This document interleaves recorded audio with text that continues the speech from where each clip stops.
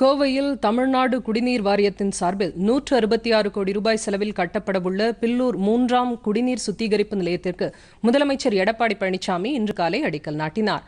கோவை மாவட்ட ஆட்சியர் அலுவலகத்தில் நடைபெற்ற இந்த நிகழ்ச்சியில் காணொலி காட்சி மூலம் இருநூற்று முப்பத்தி எட்டு கோடி ரூபாய் செலவில் மேற்கொள்ளப்படவிருக்கும் பல்வேறு வளர்ச்சித் திட்டங்களை முதலமைச்சர் தொடங்கி வைத்தார்.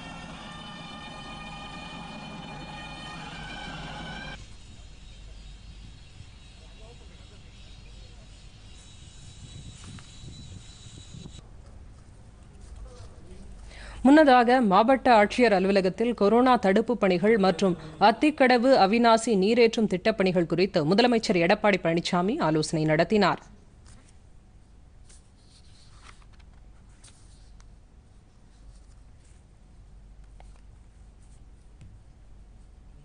நாளை திருச்சி செல்லும் முதலமைச்சர் எடப்பாடி பழனிசாமி அம்மாவட்டத்தில் மேற்கொள்ளப்பட்டு வரும் கொரோனா தடுப்பு பணிகள் உள்ளிட்ட பல்வேறு பணிகள் குறித்து மாவட்ட ஆட்சியர் அலுவலகத்தில் ஆலோசனை நடத்தவுள்ளார்.